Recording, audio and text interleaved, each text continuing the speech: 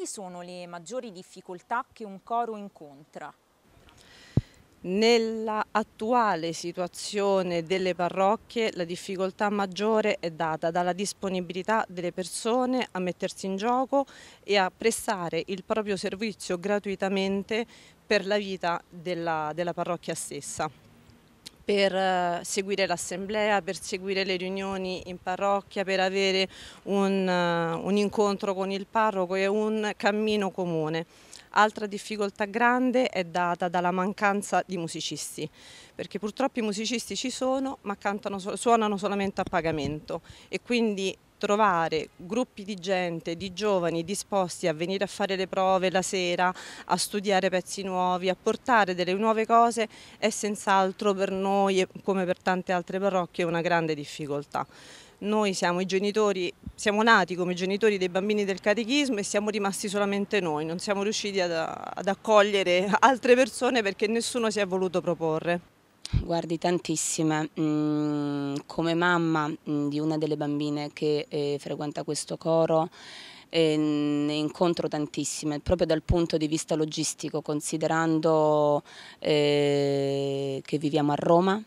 in una città grandissima dove lo spazio spostamento è sempre molto distante e molto faticoso. Le bambine di base ovviamente frequentano le scuole eh, d'obbligo italiane, frequentano per piacere, diciamo, per voglia di conoscere appartenenza anche, anche alla Polonia, la scuola polacca il sabato mattina e il sabato pomeriggio ci chiedono di andare in chiesa in centro eh, a cantare proprio con la scuola, quindi le difficoltà e il sacrificio è tantissimo, sia da parte delle famiglie che dalla parte delle bambine, ma lo facciamo per loro proprio perché loro eh, ce l'hanno chiesto a me, mia figlia e a tante altre mamme le, le, loro, le loro bambine. Allora, generalmente eh, se parliamo di adulti ci sono eh, difficoltà date dalla vita di tutti i giorni anche per, proprio per appunto dicevamo l'organizzazione e, e, quindi trovare il tempo per fare le prove, trovare il tempo per dedicare il, appunto il tempo giusto a questo tipo di attività. Per quanto riguarda anche trovare, difficile anche trovare dei brani che siano adatti anche al tipo di parrocchia nel quale si, si, ci si trova. Noi ad esempio siamo una parrocchia di periferia e abbiamo bisogno magari di brani che siano più fruibili per le persone che frequentano la nostra, la nostra parrocchia. E poi adesso questo ovviamente poi è dato da chiesa e chiesa anche una questione logistica, di spazio, di organizzazione, avere il, posto per gli strumenti, per proprio il coro fisicamente, poi se il coro è grande, piccolo. Ci sono i problemi possono essere tanti, ma secondo me sono tutti problemi che si possono superare in qualsiasi modo, con un po' di, di pazienza e con un po' di attenzione e di lavoro qualsiasi problema è superabile. Nel mio caso, che, che è un coro di bambini, eh, la principale difficoltà è quella di trovare questi ragazzi. I ragazzi eh, adesso in questo periodo storico hanno 3.000 cose da fare, eh, sport, ehm, scuola, attività pomeridiane, qualsiasi cosa e quindi trovare dei ragazzi che quotidianamente ogni settimana trovano un'ora e mezza per provare è difficile. Detto questo, la difficoltà poi è trasmettere all'assemblea e al, um, alla comunità parrocchiale l'importanza del canto, che purtroppo nella società odierna spesso viene tralasciata. Eh, eh, le difficoltà possono essere anche numerose, bisogna innanzitutto vedere anche i parroci delle varie parrocchie come eh, vedono anche i cori, perché ci sono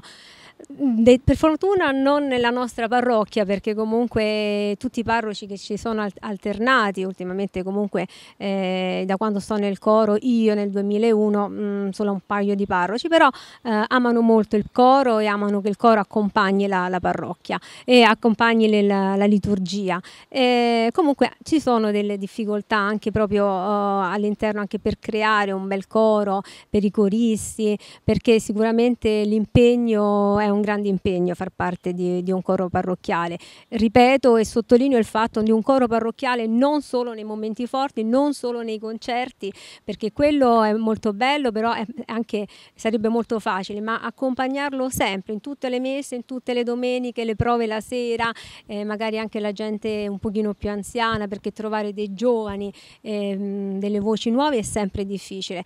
È un bel impegno, però alla fine dà anche tanta soddisfazione, quindi uno lo fa con tanto piacere.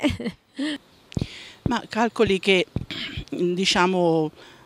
un coro di una quarantina di persone, 50 anche con le voci bianche e problema è che la preparazione, certo, c'è chi lavora ancora, no? quindi si fanno le prove una volta a settimana di un'ora e mezzo e poi però bisogna studiare anche a casa, cioè cercare di, eh,